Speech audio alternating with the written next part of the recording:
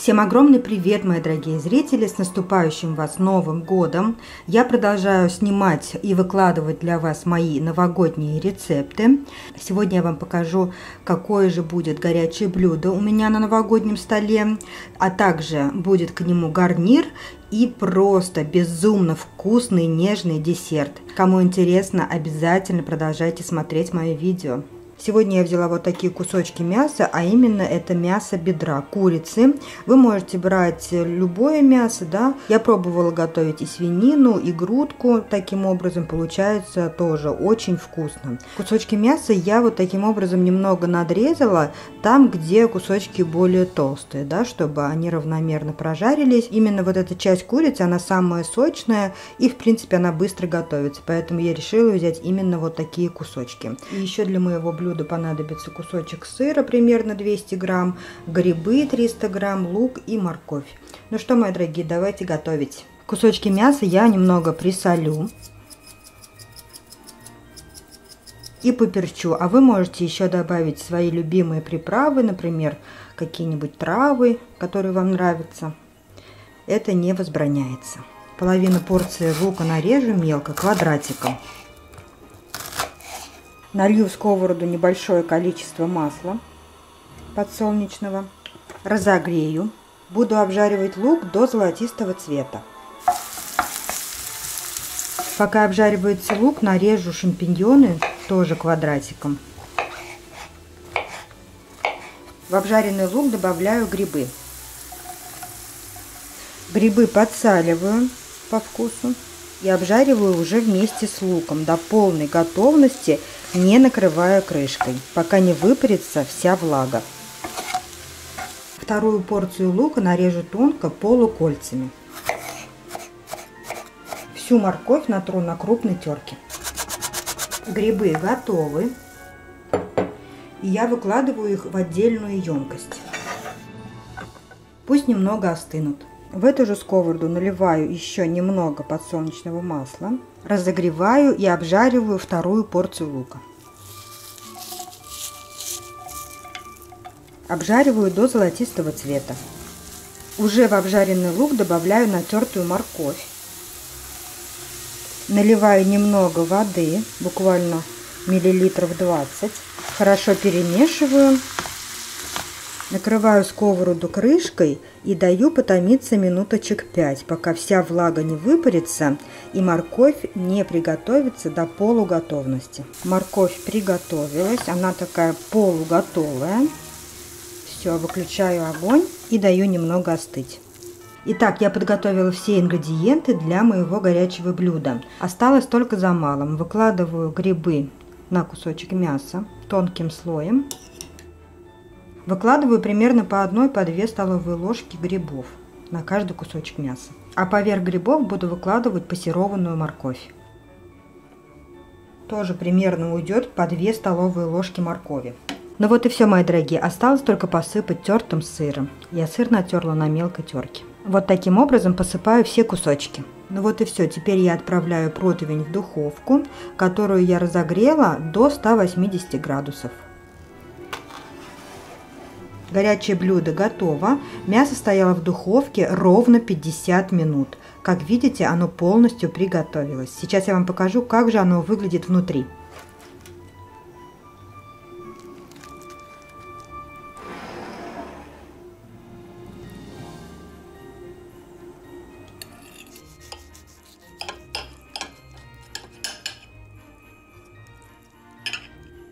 Вот таким образом блюдо выглядит в разрезе. Как видите, полностью все приготовилось. Оно сочное и безумно вкусное. Сейчас попробую кусочек мяса. Это очень вкусно, мои дорогие, вкусно и сочно. Обязательно попробуйте, приготовьте по этому рецепту. А сейчас я вам покажу, какой же я приготовлю гарнир на новогодний стол. Я начистила картофель, хорошо его промыла и разделю картофель на 4 части. Старалась выбирать клубни среднего размера. Картофель присаливаю по вкусу. Добавляю подсолнечное масло. Также выдавлю 2 зубчика чеснока. Добавляю черный молотый перец по вкусу. И немного красной паприки. у меня копченая. Все хорошо перемешиваю. Выкладываю картофель на противень. Распределяю, чтобы они лежали как бы спинкой вниз. Вот таким образом. Вы можете постелить на противень фольгу или пекарскую бумагу. Ну вот примерно вот таким образом отправляю противень в духовку, разогретый до 200 градусов, примерно на 60 минут. Ну вот и все, мои дорогие. Гарнир для моего горячего блюда готов. Картошка полностью приготовилась, она хрустящая, а внутри очень нежная. Обязательно попробуйте, приготовьте. А сейчас я вам покажу, какой же я потрясающий десерт приготовлю на свой новогодний стол. Итак, мои дорогие, я сначала приготовлю сметанный заварной крем. Он очень вкусный и безумно нежный. В кастрюлю с толстым дном я разбиваю 3 яйца. Сюда же добавляю 10 столовых ложек сахара. Сюда же насыпаю 1 столовую ложку ванильного сахара. Вы можете добавить просто ванилин. И начинаю хорошенько все перетирать. Яйца вместе с сахаром. Сюда же добавляю 3 столовые ложечки с горочкой обычной белой муки. Тоже все хорошо перемешиваю до однородной массы. В кастрюлю добавляю сметану 500 грамм. Вы можете взять сметану любой жирности. Можно 20%, можно 15%. Все хорошо перемешиваю. Ставлю кастрюлю с будущим кремом на огонь. Сначала на средний огонь. Нагреваю. А когда крем нагреется, я убавлю огонь и буду варить крем на медленном огне. Возьму вот такую силиконовую лопаточку, чтобы мне было удобнее. Кастрюля должна быть с толстым дном. Это обязательное условие, мои дорогие, чтобы крем не пригорал. И нужно, конечно же, все время следить за кремом и вот так вот его помешивать. Нужно не упустить тот момент, когда надо убавить огонь. Через пару минут я уже убавила огонь и продолжаю помешивать крем. Прямо на глазах крем густеет, и когда пойдут такие бульки, да, густые, то его можно будет уже выключить. Ну вот и все, мои дорогие, видите бульки? Все, я выключаю огонь и оставляю крем остужаться до комнатной температуры. Я не буду ничем накрывать кастрюлю, просто время от времени буду вот таким образом все хорошо перемешивать, чтобы поверх крема не образовывалась пленка. И он у меня будет остывать до комнатной температуры. Вместо обычных классических коржей я сегодня буду использовать вот такое печенье.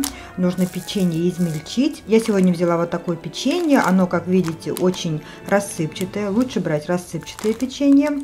Это печенье называется деревенское кофе.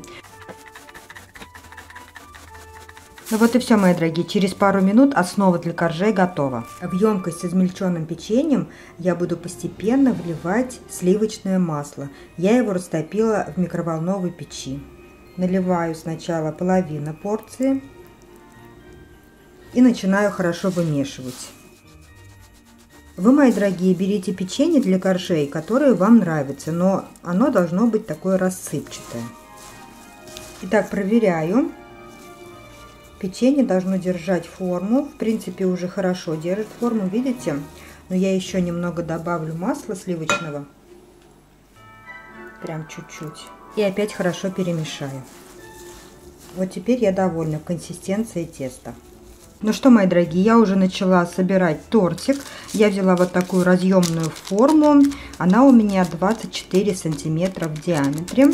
Сейчас я вниз выложу печенье. Это будет основной корж нижний. Я вот так вот выкладываю печенье и немного придавливаю. И обязательно нужно будет сделать бортики. Ну вот и все, и бортики готовы. Вот так вот хорошенько все это придавливаю. И бортики тоже придавливаю, чтобы они крепко держались. Ну все, основной корж у меня готов. я отправляю вот эту вот заготовочку в холодильник. Пока застывает корж в холодильнике, я доделаю заварной крем. Заварная основа для крема уже остыла, она комнатной температуры. И я сюда добавляю размягченное сливочное масло. Буду взбивать крем вместе с маслом до воздушной консистенции своим вот таким вот стареньким миксером.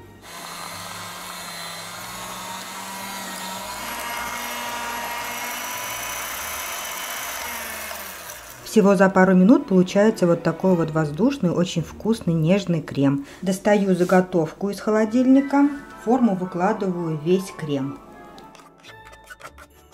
Разравниваю весь крем по форме. После того, как я крем разровняла, посыпаю оставшимся тестом, вернее оставшейся крошкой.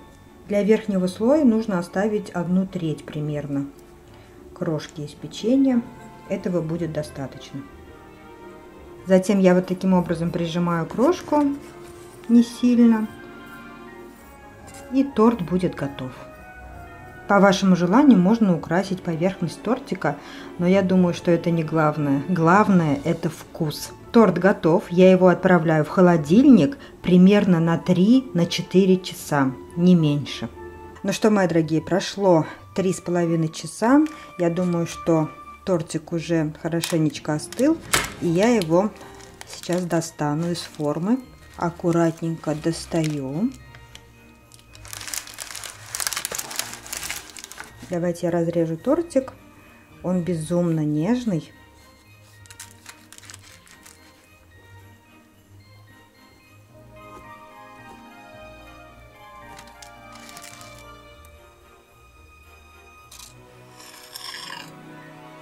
Он такой нежный. Можно было бы еще подержать часик в холодильнике, но вы знаете, я не выдержала. Это просто божественный вкус, мои дорогие. Текстура, вкус крема выше всяких похвал. Обязательно попробуйте, приготовьте. Я думаю, что вам очень понравится. Это очень вкусный торт, вы можете украсить его по своему желанию, можете украсить в новогодних мотивах. Я думаю, что такой торт украсит любое застолье и подойдет, особенно хорошо подойдет к новогоднему столу. Спасибо большое, что вы посмотрели мое видео. Всем спасибо, всем пока-пока.